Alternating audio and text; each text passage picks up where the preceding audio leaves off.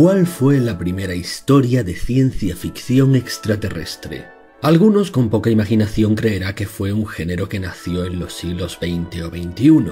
Otros más leídos tal vez imaginen que pudo ser La Guerra de los Mundos, escrita en el año 1898 por H.G. Wells, bastante más antigua de lo que muchos piensan. Pero ¿y si te dijera que todos se quedan cortos? Podríamos filosofar sobre si algunos mitos arcaicos contarían como este tipo de relatos, pero estrictamente hablando, el primer relato con la fórmula actualmente reconocible como un extraterrestre o raza extraterrestre que interactúa con el planeta Tierra y los humanos surgió por primera vez en el año 1752 y su autor no fue otro que el célebre filósofo francés Voltaire. Se trata de la historia de Micromegas, un relato corto que, de hecho, puedo narrarte ahora mismo. Puedes quedarte para oírlo íntegro o puedes desplazarte a los últimos minutos donde te resumiré su sinopsis y las curiosidades del primer relato sobre alienígenas de la historia. Había en uno de los planetas que giran en torno de la estrella llamada Sirio un mozo de mucho talento a quien tuve la honra de conocer en el postrer viaje que hizo a nuestro mezquino hormiguero. Era su nombre Micromegas. Tenía ocho leguas de alto, quiero decir 24.000 pasos geométricos de cinco pies cada uno Algún matemático, casta de gente muy útil al público, tomará la pluma en este trance de mi historia y calculará que, teniendo el señor Micromegas, morador del país de Sirio, 24.000 pasos desde la cabeza a los pies, que hacen 120.000 pies, y nosotros, ciudadanos de la Tierra, no más por lo común de 5 pies, y midiendo la circunferencia de nuestro globo 9.000 leguas, es absolutamente preciso que el planeta donde nació nuestro héroe tenga cabalmente 21.600.000 veces más de circunferencia que nuestra minúscula Tierra. Nada más natural. Los estados de ciertos príncipes de Alemania o de Italia, que pueden andarse en media hora comparados con Turquía, Rusia o China, son un ejemplo muy pálido de las diferencias que la naturaleza ha establecido en todas las cosas. Siendo la estatura de su excelencia la que llevamos dicha, Convendrán todos nuestros pintores y escultores que su cintura podría medir unos 50.000 pies de circunferencia, lo que revela una bella figura. Su entendimiento era de los más perspicaces, sabía muchas cosas y otras se las inventaba. Apenas frisaba en los 350 años y siendo un estudiante de un colegio de jesuitas de su planeta, descubrió a fuerza de inteligencia más de 50 proposiciones de Euclides, 18 más que Blas Pascal. A la edad de 400 años, o sea, al salir de la infancia, disecó unos insectos diminutos de apenas 100 pies de grosor publicó un libro muy interesante acerca de esos insectos, lo que le proporcionó bastantes disgustos. El muftí de su país, tan receloso como ignorante, advirtió en su libro proposiciones sospechosas, blasfemas, temerarias, heréticas o que olían a herejía y le persiguió de muerte. Defendióse con mucho ingenio Micromegas, y después de 220 años que duró el pleito, hizo el muftí condenar el libro por jueces que no lo habían leído ni sabían leer. En cuanto al autor, fue desterrado de la corte 800 años. No le afligió mucho abandonar una corte llena de enredos y chismes, y se dedicó a viajar de planeta en planeta para, como dicen, perfeccionar el juicio y el corazón. Quienes viajamos en diligencias o sillas de posta nos pasmaríamos de los vehículos que allá arriba usan. Nosotros, en la bola de cieno en que habitamos, no comprendemos otros procedimientos. Micromegas, conocedor de las leyes de la gravitación y de las fuerzas atractivas y repulsivas, se valía de ellas con tanto acierto que, ora montando en un rayo de sol, ora cabalgando en un cometa, o saltando de globo en globo, lo mismo que revolotea un pajarillo de rama en rama, él y sus sirvientes hacían su camino. En poco tiempo recorrió la Vía Láctea. Después de largo viaje, Micromegas llegó un día a Saturno, y aun cuando estaba acostumbrado a contemplar cosas nuevas, le sorprendió la pequeñez de aquel planeta y de sus moradores. no pudo menos de sonreír con ese aire de superioridad que los más discretos no pueden contener a veces. Verdad es que Saturno no es más que 900 veces mayor que la Tierra, y sus habitantes, pobres enanos de unas dos mil varas de estatura más o menos. Rióse al principio de ellos con sus criados, pero el siriano era razonable y pronto se dio cuenta de que ningún ser que piensa es ridículo, aunque su estatura no pase de seis mil pies. Acostumbróse a los saturninos, después de haber causado su asombro, y se hizo íntimo amigo del secretario de la Academia de Saturno, hombre de mucho talento. No había inventado nada, pero explicaba muy bien los inventos de los demás. He aquí expuesta, para satisfacción de mis lectores, una extraña conversación que con el señor secretario tuvo cierto día Micromegas. Confesemos que es muy varia la naturaleza. ¿Verdad es? dijo el Saturnino. La naturaleza es como un jardín cuyas flores... Ah, dejaos de floriculturas. Pues es entonces como una reunión de rubias y morenas, cuyos encantos... Dejad de vuestras morenas y de vuestras rubias. Bueno, o bien como una galería de cuadros cuyas imágenes... No, no, señor, no. Decidme lo primero. ¿Cuántos sentidos tienen los hombres en vuestro país? Nada más que 72, os confieso. Créame que todos los días nos lamentamos de esta limitación. Nuestra imaginación va más allá de nuestras posibilidades, por lo que nos parece que con nuestros escasos 72 sentidos nuestro anillo y nuestras cinco lunas no tenemos bastante. En realidad nos aburrimos mucho a pesar de nuestros 72 sentidos y de las pasiones que de ellos se derivan.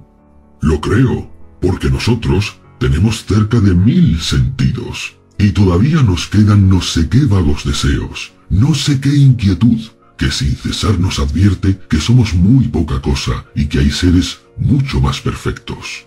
En mis viajes he visto gentes muy inferiores a nosotros y otras muy superiores, mas no he hallado nunca ninguna que no tenga más deseos que necesidades y más necesidades que satisfacciones. El saturnino y el siriano quedaron meditabundos. Luego se entregaron a ingeniosas reflexiones, tan agudas como inconsistentes, hasta que les fue forzoso atenerse a los hechos. ¿Es muy larga vuestra vida? preguntó el siriano. Ah, no, es muy corta. Lo mismo sucede en nuestro país. Siempre nos estamos quejando de la brevedad de la vida. Debe ser una ley universal de la naturaleza. Ah, nuestra vida se limita a 500 revoluciones solares, que vienen a ser unos 15.000 años según nuestra aritmética. Esto es, pues, casi nacer y morir en un momento. Así, nuestra existencia es un punto, nuestra vida un instante, y el globo en que habitamos un átomo.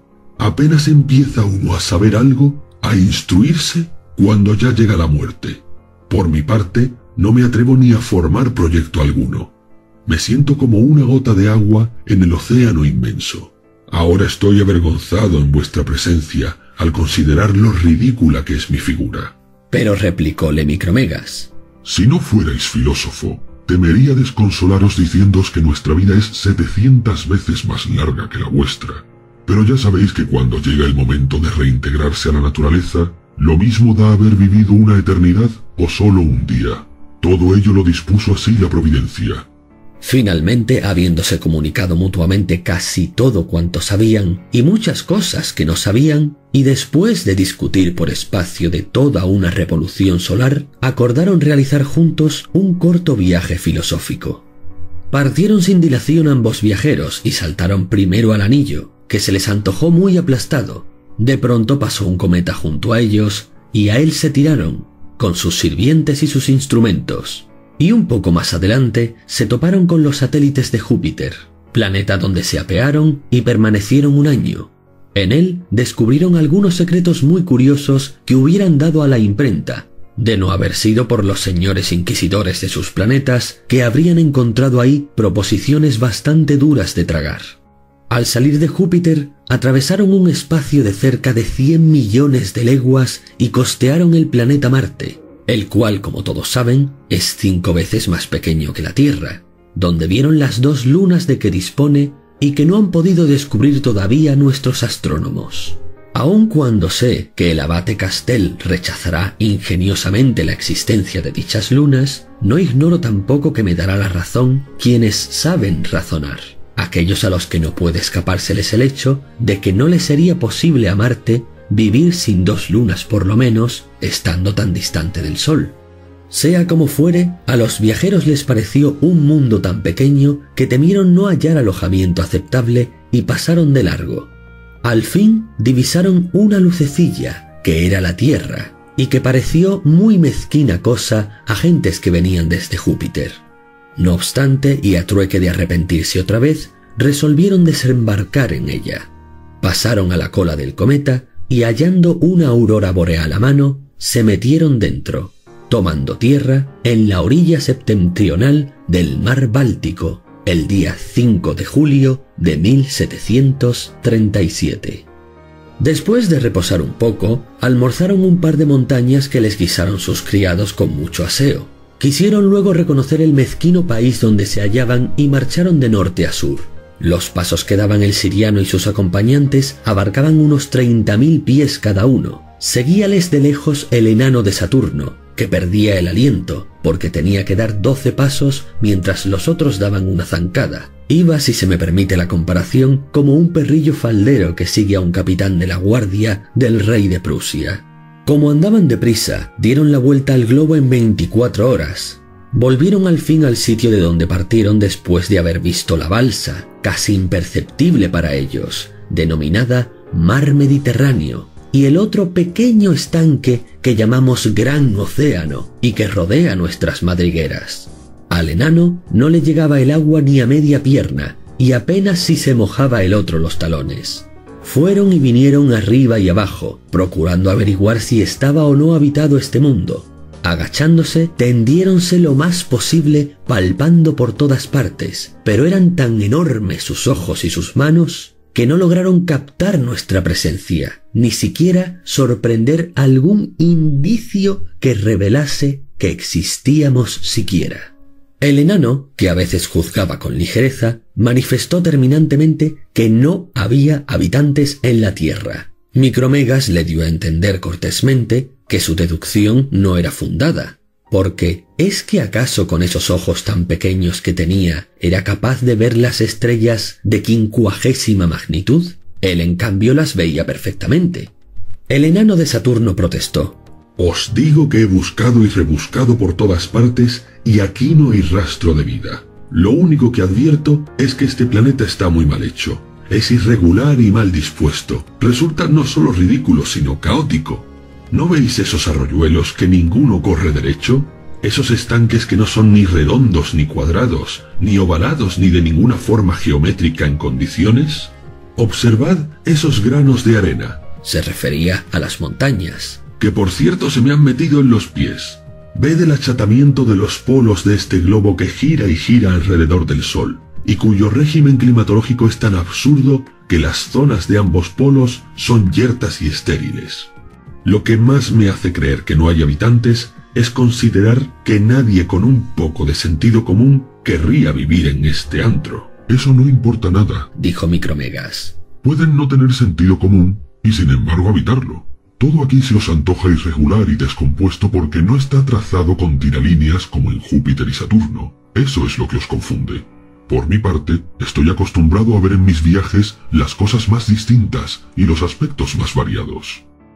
Replicó el Saturnino a estas razones, y no se hubiera concluido esta disputa si en el calor de ella no hubiese roto Micromegas el hilo de su collar de diamantes y caídose estos, que eran muy hermosos, aunque diminutos y desiguales, fuera el enano a coger alguno de ellos y arrimándoselo a los ojos, observó, como quien usa un microscopio, una cosa casi imperceptible que se movía entre las aguas del mar Báltico. Se trataba de una ballena. Púsosela bonitamente encima de la uña del pulgar y se la enseñó al siriano, que se echó a reír ante la insignificancia ridícula de los habitantes de la Tierra. Creyó pues el Saturnino que nuestro mundo estaba habitado solo por ballenas, y, como era muy listo, quiso averiguar de qué manera podía moverse un átomo tan infinitagesimal y si tenía ideas si acaso si le cabía voluntad y libre albedrío en su incalculablemente microscópica cabeza. Micromegas no sabía qué pensar. Sacó en consecuencia al principio que no podía caber un alma en un cuerpo tan pequeño. Continuó observando y con el auxilio de su improvisado microscopio descubrieron otro bulto más grande que la ballena flotando en el mar Báltico. Como es sabido, por aquellos días regresaba del círculo polar una banda de filósofos que habían ido a tomar unas medidas en que nadie hasta entonces había pensado. Se dijo en los papeles públicos que su barco había encallado en las costas de Botnia y que por poco perecen todos, pero nunca se sabe en este mundo la verdad oculta de las cosas. Contaré con sinceridad lo que en realidad les había ocurrido. El objeto se trataba por supuesto del barco de dichos filósofos. Micromegas trató con mucha maña y extremo cuidado de tomar aquel navío y ponerlo sobre la uña de su pulgar. He aquí un animal muy distinto del otro, dijo el enano de Saturno. Los pasajeros y marineros de la tripulación, creyéndose arrebatados por un huracán y al buque varado en un bajío, se pusieron todos en movimiento, tirándose sobre la mano de Micromegas. Sacaron los sabios sus cuartos de círculo, sus sectores y empezaron a hacer sus cálculos. Puesto que era un ser de extrema sensibilidad, alcanzó a notar un ínfimo cosquilleo, a pesar de que sus ojos eran incapaces de ver a los minúsculos seres que nosotros nos hacemos llamar humanos. El filósofo de Sirio tuvo que proceder con suma habilidad para examinar esos átomos. Y qué placer el de Micromegas cuando vio cómo se movían aquellos seres por fin, cuando examinó sus movimientos todos y siguió sus acciones. Con qué júbilo alargó a su compañero uno de sus microscopios. Los veo perfectamente. Mira cómo andan y cómo suben y bajan. Mejor observador micromegas que el enano, advirtió claramente que aquellos átomos se hablaban entre sí, y así se lo hizo notar a su compañero, el cual al principio no quiso creer que semejante especie de bichos minúsculos pudieran tener siquiera la capacidad de comunicar sus ideas. ¿Cómo iban a tener órganos de la voz unos seres casi imperceptibles. ¿Acaso podemos nosotros imaginar que lo que nosotros llamamos átomos sean capaces de hablar entre sí? ¿Que les quepa el aliento siquiera? Pero finalmente reflexionó. Viéndolo visto, no me atrevo ya a creer ni a negar nada. Así que procedamos a examinar a estos insectos y meditemos luego. Sacando unas tijeras, se cortó la uña de su otro pulgar y con ella hizo una especie de bocina enorme, como un embudo inmenso, y luego se colocó el cañón al oído, de modo que le fueran audibles los sonidos de aquellos átomos. Como podemos figurarnos, el enano y el siriano se morían de deseos de entablar conversación con aquellos seres, pero tenían miedo de que su voz atronara a los microbios si es que éstos las oyeran. Trataron pues de amortiguar su intensidad, y para ello se pusieron en la boca unos mondadientes muy menudos, cuya punta muy afilada iba a parar junto al navío. Puso el siriano al enano entre sus rodillas y encima de una uña el navío con su tripulación. Bajó la cabeza y habló muy quedo, y después de todas estas precauciones y muchas más, dijo lo siguiente. Invisibles insectos que la diestra del Creador se plujo producir en los abismos de lo infinitamente pequeño. Yo os bendigo. ¿Acaso luego me desprecien en mi corte? Pero yo a nadie desprecio y os brindo mi protección. Si hubo asombros en el mundo, ninguno llegó al de los que estas palabras oyeron, sin poder atinar de dónde salían. Rezó el capellán del barco las preces contra el demonio, blasfemaron los marineros, e inventaron varios sistemas los filósofos del navío, pero a pesar de sus meditaciones no les fue posible averiguar quién era el que les estaba hablando. Fue entonces cuando el enano de Saturno, que tenía la voz más débil que Micromegas, les explicó todo circunstanciadamente. Compadecido de que fueran tan diminutos, les habló con ternura preguntándoles si habían sido siempre tan insignificantes y qué era lo que hacían en un globo que, al parecer, pertenecía a las ballenas. Les preguntó también si eran felices, si tenían alma, si se reproducían y otras mil preguntas por el estilo. Ofendido de que alguien dudase de si tenían alma, un sabio de la tierra, más audaz que los demás, observó a su interlocutor con una pínula adaptada a un cuarto de círculo. Midió los triángulos y por último dijo así, ¿Creéis, caballero, que porque tengáis una estatura de dos mil metros sois un... ¡Dos mil metros! exclamó el enano. No se ha equivocado ni en una pulgada. Así pues, este átomo ha podido medirme, sabe matemáticas y ha determinado mi tamaño. En cambio, yo no le puedo ver sin el auxilio del microscopio y no sé qué dimensiones tiene. Sí, supe mediros, dijo el matemático y podré hacer lo mismo con el gigante que os acompaña. Micromegas exclamó. Cuán cierto es que nunca se deben juzgar las cosas por su apariencia. Seres insignificantes, despreciables, tienen uso de razón, y aún es posible que otros más pequeños todavía posean más inteligencia que esos. Para Dios en su omnipotencia no hay dificultad en proveer de entendimiento, lo mismo a los seres infinitamente grandes que a los infinitamente pequeños. Respondióle uno de los filósofos que bien podría él creer que habría seres inteligentes mucho más pequeños que un hombre. Poco a poco fue haciéndose interesante la conversación. Micromegas se expresó así. Oh, átomos inteligentes, en quienes quiso el Eterno manifestar su arte y su poder. Decidme, ¿no disfrutáis en vuestro globo terráqueo purísimos deleites? Apenas tenéis materia, sois todo espíritu, lo cual quiere decir que seguramente emplearéis vuestra vida en pensar y amar, que es la vida que corresponde a los espíritus. Yo que no he visto la felicidad en ninguna parte, creo que ahora está entre vosotros. Encogíronse de hombros los humanos al oír esto. Uno de ellos quiso hablar con sinceridad y manifestó, exceptuando un número reducidísimo, a quienes para nada se tiene en cuenta, todos los demás somos una cáfila de locos, perversos y desdichados. ¿Sabéis, por ejemplo, que a estas horas, cien mil locos de nuestra especie que llevan sombrero están matando a otros cien mil animales que llevan turbante y que de hecho se están matando entre sí los unos a los otros? Tal es la norma en la tierra desde que el hombre existe. Horrorizóse el siriano y preguntó cuál era el motivo de tan horribles contiendas entre animales tan ruines. Se disputan, dijo el filósofo, unos trozos de tierra de tamaño menor que vuestros pies, y se los disputan no porque ninguno de los hombres que peleen o mueran o matan quieran para sí un terrón siquiera de aquel pedazo de tierra, sino porque éste ha de pertenecer a cierto individuo que llaman unos sultán o a otro al que apellidan zar. Ninguno de los dos ha visto nunca el minúsculo territorio en litigio, así como tampoco ninguno de los animales que recíprocamente se asesinan han visto al animal por el cual se asesinan. Pero ¿cómo es posible tan absurdo frenesí? exclamó con indignación el siriano. Deseos me dan de pisar a ese hormiguero ridículo de asesinos. No hace falta que os toméis ese trabajo. Ellos solos se bastan para destruirse. Dentro de cien años habrán quedado reducidos a la décima parte. Aun sin guerras, perecen de hambre, de fatiga o de vicios. Pero no son ellos los que merecen castigo, sino quienes desde la tranquilidad de su gabinete y mientras hacen la digestión de su opípara comida, ordenan el degüello de un millón de hombres, y después le dan gracias a Dios en solemnes funciones religiosas. Sentíanse los viajeros movidos a piedad hacia el ruin linaje humano en el cual tantas contradicciones descubrieron.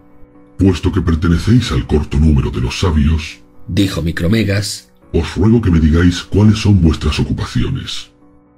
Disecamos moscas, respondió uno de los filósofos. Medimos líneas, coleccionamos nombres, coincidimos acerca de dos o tres puntos que entendemos y discrepamos sobre dos o tres mil que no entendemos. El siriano y el saturnino se pusieron a hacerles preguntas para saber sobre qué estaban de acuerdo. ¿Qué distancia hay? dijo el saturnino. Desde la canícula hasta la mayor de Géminis. Respondiéronle todos a la vez. Treinta y dos grados y medio. ¿Qué distancia hay de aquí a vuestra luna? Setenta semidiámetros de la Tierra. ¿Cuánto pesa vuestro aire? No creían que pudiesen responder a esta pregunta, pero todos le dijeron que pesaba 900 veces menos que el mismo volumen del agua más ligera y 19.000 veces menos que el oro. Atónito, el gigantesco enanillo de Saturno estaba tentado a creer que tenían que ser magos, pues no era posible que fueran tan inteligentes. Sus diminutos cerebros no podían albergar tantos cálculos. Por último, habló Micromegas. Ya que tan perfectamente sabéis lo de fuera de vuestro planeta, sin duda mejor sabréis lo que hay dentro. Decidme pues, ¿qué es vuestra alma? ¿Y cómo se forman vuestras ideas? Los filósofos hablaron todos a la par como antes, pero esta vez cada uno con distinto parecer. Citó el más anciano a un tal Aristóteles. Otro pronunció el nombre de Descartes. Este el de Malebranche, aquel el de Leibniz, el de Locke el otro. El viejo peripatético dijo con gran convicción, el alma es una entelequia, una razón en virtud de la cual tiene el poder de ser lo que es. Así lo dice expresamente Aristóteles, página 633 de la edición del Louvre, etcétera, etcétera, etcétera. Lo siento, pero no entiendo griego, confesó el gigante. No, ni yo tampoco, respondió el filósofo. Entonces, ¿por qué citáis a ese Aristóteles en griego? Porque lo que uno no entiende lo ha de citar en una lengua que no conozca. Tomó entonces la palabra el cartesiano y dijo, El alma es un espíritu puro, que en el vientre de la madre recibe todas las ideas metafísicas y que, en cuanto sale de él, tiene que ir a la escuela para aprender otra vez lo que tan bien sabía en su momento y que nunca volverá a saber. El animal de ocho leguas opinó que importaba muy poco que el alma supiera mucho en el vientre de su madre si después lo ignora todo. Pero decidme, ¿qué entendéis por espíritu? Valiente pregunta, contestaron. No tengo ni idea. Dicen que es simplemente lo que no es materia. Bueno, ¿y sabéis lo que es la materia? Eso sí, esa piedra, por ejemplo, es parda y de tal figura. Tiene tres dimensiones y es pesada y divisible. Así es. asintió el siriano. Pero esa cosa que te parece divisible, pesada y parda, ¿me dirás qué es? Tú sabes de algunos de sus atributos, pero el sostén de esos atributos, ¿lo conoces? Pues lo cierto es que no, dijo el humano. Luego no sabes qué cosa sea la materia. Le preguntaron entonces al filósofo malebranchista qué creía él que era el alma y cuál era su oficio. Yo, yo no hago nada, dijo éste. Dios es quien lo hace todo por mí. En Él lo veo todo, en Él lo hago todo, y Él es quien todo lo dispone sin cooperación mía en ningún momento. Bah, eso es igual que no existir, dijo el filósofo de Sirio. ¿Y tú, amigo? Le dijo al filósofo leibniziano. ¿Qué haces tú? ¿Y qué es tu alma?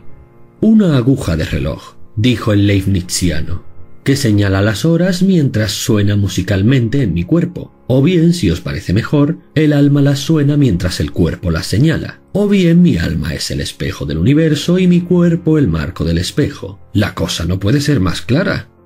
Estábalos oyendo un estudioso de Locke y quiso entonces interrumpir. Yo no sé cómo pienso. Lo que sé es que nunca he pensado como no sea por medio de mis sentidos. Que haya sustancias inmateriales y a la vez inteligentes no lo pongo en duda, pero que no pueda Dios comunicar la inteligencia a la materia, eso es imposible. Sonrióse el alienígena de Sirio, y le pareció que ninguno estaba del todo cuerdo, aunque tampoco les faltaba del todo razón. Por desgracia, se encontraba también allí un bichejo tocado con un birrete que, interrumpiendo el diálogo, manifestó que él estaba en posesión de la verdad que no era otra que la expuesta en la suma de Santo Tomás. Y mirando de pies a cabeza a los dos viajeros celestes, les dijo que sus personas, sus mundos, sus soles y sus estrellas, todo había sido creado solamente para los humanos. Al oír los alienígenas tal sandez, se echaron a reír estrepitosamente, con aquella risa inextinguible que según Homero es atributo de los dioses. Las convulsiones de tanta hilaridad hicieron caer al navío de la uña del siriano al bolsillo de los calzones del saturnino. Buscáronle ambos mucho tiempo, y al cabo toparon con la tripulación y la metieron de nuevo en el barco lo mejor que pudieron. Luego se despidieron amablemente de aquellos charlatanes, aunque estaban algo mohínos de ver que unos seres tan infinitamente pequeños tuvieran una vanidad tan infinitamente grande. Micromegas prometióles un libro de filosofía escrito en letra muy menuda para que pudieran leerla. En él veréis la razón de todas las cosas.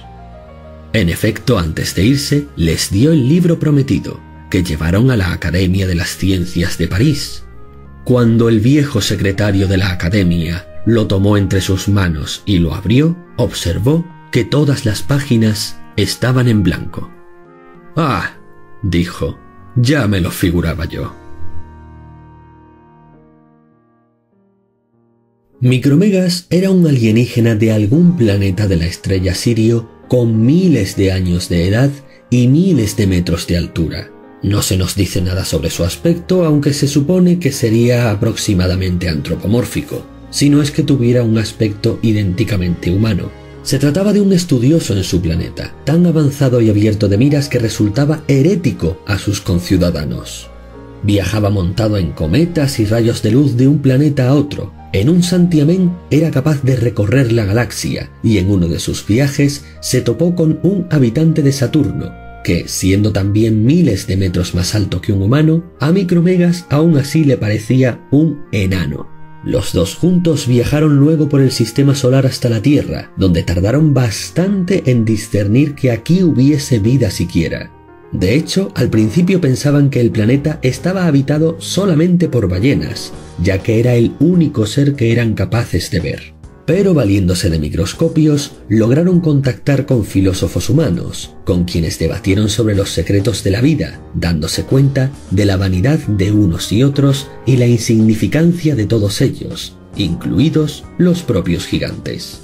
Ingenuamente, Voltaire daba por sentado que el tamaño de cualquier habitante de cualquier planeta era proporcional al susodicho planeta. Es decir, que si nosotros en promedio medimos X altura y la Tierra tiene Z circunferencia, entonces se podía calcular milimétricamente la circunferencia del planeta de micromegas solo sabiendo la altura del alienígena.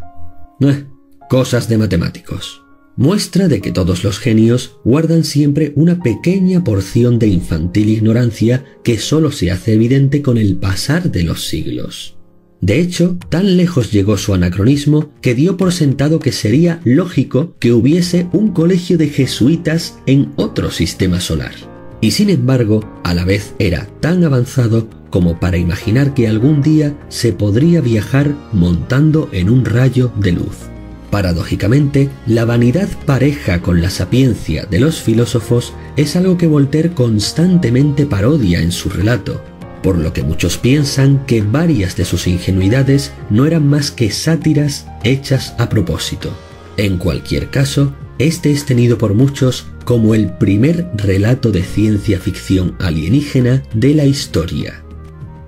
Si te gustó esta narración y quieres oír más, házmelo saber por hoy eso ha sido todo y hasta la próxima.